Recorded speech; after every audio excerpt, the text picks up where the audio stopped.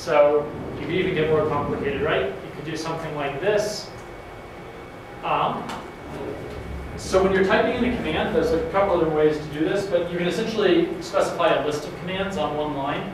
We're getting precarious like close to just writing a script now, but um, if you use the if you use the semicolon, that'll mean run this command, and when it's done running, run the next command. So we can do this from time to time. So if I do something like that, followed by something like this, OS is, my files isn't a very good variable name anymore. Let's recall it OS.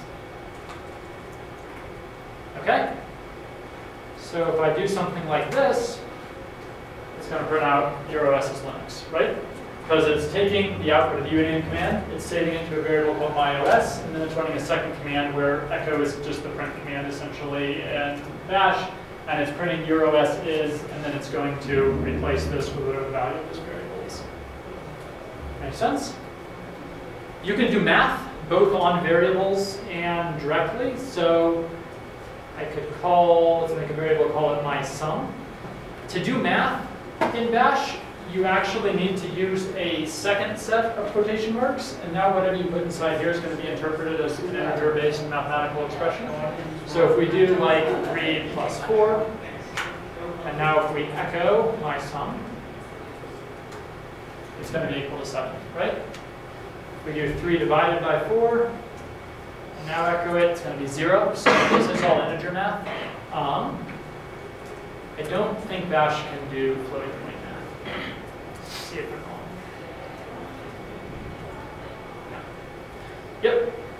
So you're stuck with integers in bash. If you want to do floating point, you're going to need a more advanced programming language.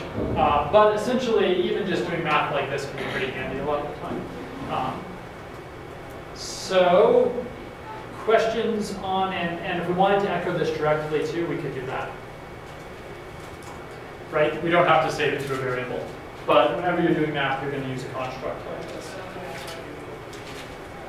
So there's a command called count. So we could do something like, um, so, well, get a little complicated. So let's, uh, we're going to list all the files in my current directory. We're going to pipe that output to count. That by itself, okay. We're going to pipe that to, uh, we'll use word count because I don't have the pure count command installed. So what word count does is it's going to print out three numbers for me. The first number is going to be the number of lines. The second number is the number of words, I think, and then the third number is the number of characters. Um, we just want, we can actually tell it that all I want is print the new line count by giving it the dash L command. So if I do wc dash L, okay. So now it's just going to output 8, right? It's going to output the number of files in this directory.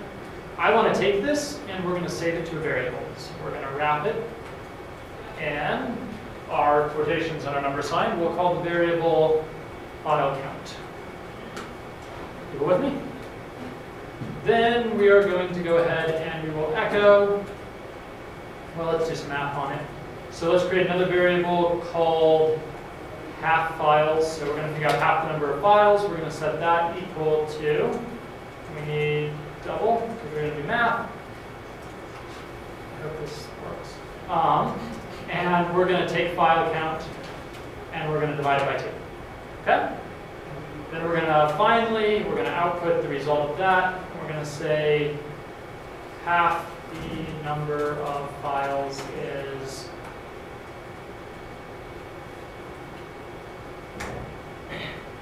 it. and it works, right?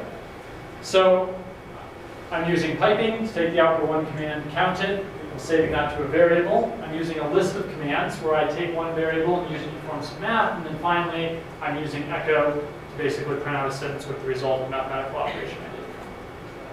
Make sense? All right.